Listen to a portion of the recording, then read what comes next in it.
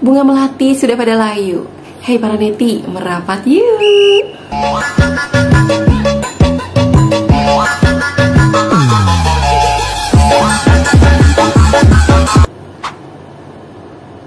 Oke, nggak apa-apa ya walaupun bunga melati udah pada layu, tapi para netiku nggak pernah layu dong ya.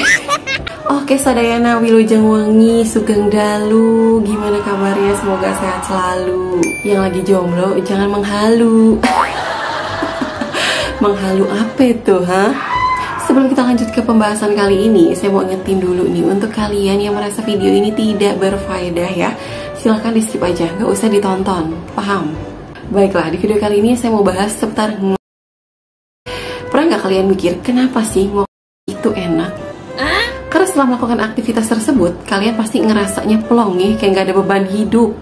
Tapi sebenarnya emang ada manfaatnya juga loh ketika senam lima jari itu.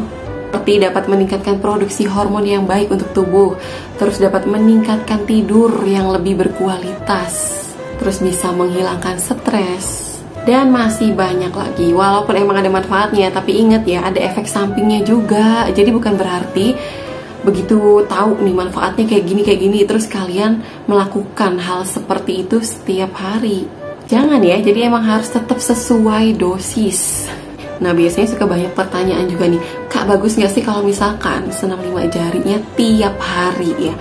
Jadi sebenarnya itu tidak disarankan, sangat tidak disarankan melakukan aktivitas tersebut setiap hari atau secara berlebihan.